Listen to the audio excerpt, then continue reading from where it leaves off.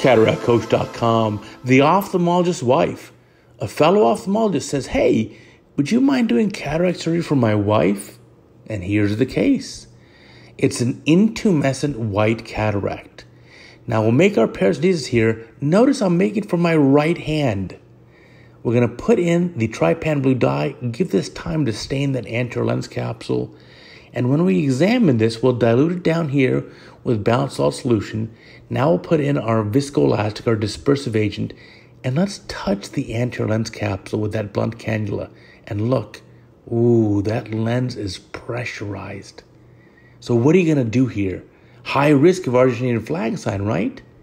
Well, let's go in with a sharp needle, 27 gauge needle, 3 cc syringe going in bevel down, puncture and immediately aspirate and suck out as much of that intumescent fluid as you can. Rock the nucleus a little bit, and let's see. Uh, there's that fluid you pulled out of the eye. Now you've decompressed the capsular bag, so the risk here is much lower. It's not zero, but it's lower. So now it's time to make the main incision. So make the main incision here We're using a diamond keratome. Get a nice clean incision.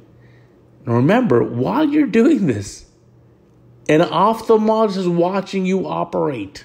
Think about this. Now let's go back inside the eye. We're going to go ahead and grab that lens capsule and let's, let's create that rhexis. And we're very cautious, and I'm getting ready to pull it in centrally. Now, worst case scenario, I'll quickly finish this rhexis and make a baby rhexis.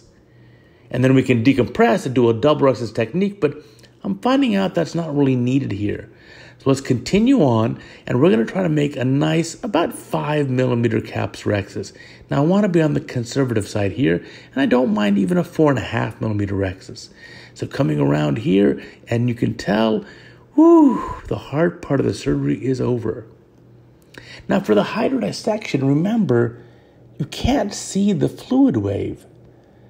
So I'm going to start by making a left hand paracentesis so the first paracentesis was solely for creation of that capsular rhexis.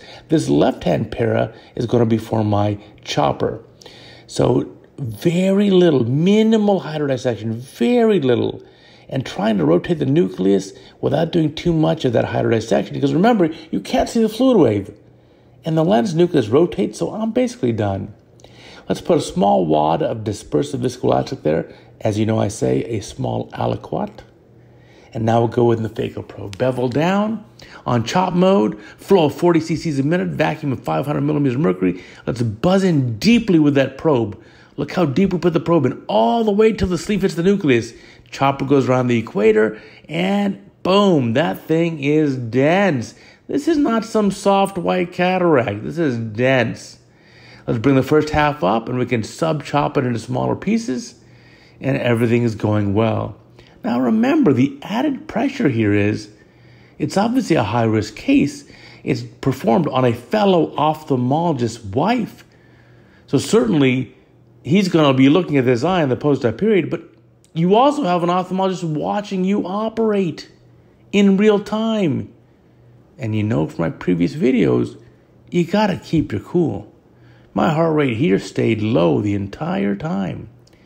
So here's the second half of the nucleus. We've sub-chopped it, taken the pieces out nice and easy. There's going to be a challenge ahead. Stay tuned. Don't turn away just yet. So we get the rest of the nucleus down. Chopper goes in that safe position. We definitely want to preserve that posterior capsule. Don't touch it. And so now the nucleus is out. Time for the cortex removal. And what we're going to have here is you're going to have a situation where there's some scarring on the capsule from the white cataract.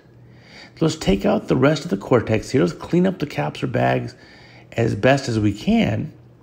Clean up all that stuff, and it looks pretty good. Now, there's obviously finally a nice red reflex here, but when you try to clean up that anterior capsular rim, you're finding out that there's some fibrosis of that capsule.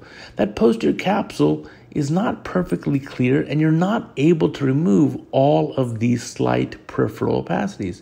Now, the good news there is the word peripheral. None of these opacities are there in the central visual axis, so the vision is going to be great on post op day one.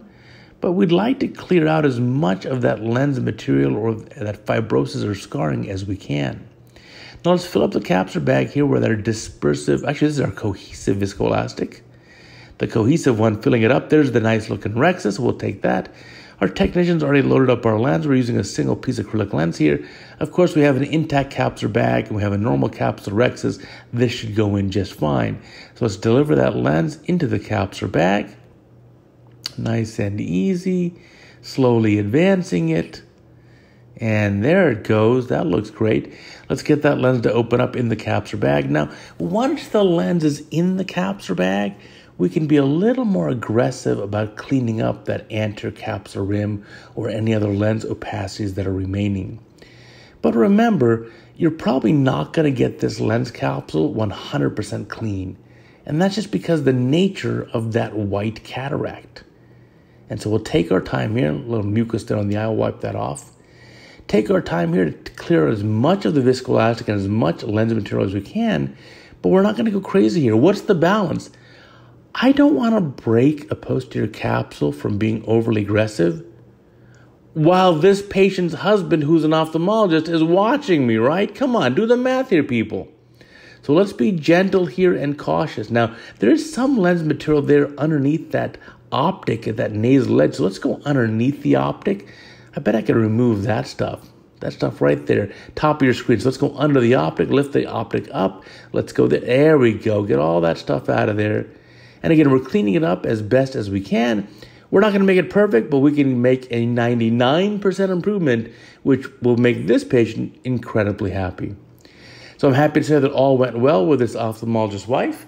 I'm always honored to have a fellow ophthalmologist entrust me with their eyes or their family's eyes. And luckily for me, we're able to stay cool and do a beautiful job. Thanks for watching.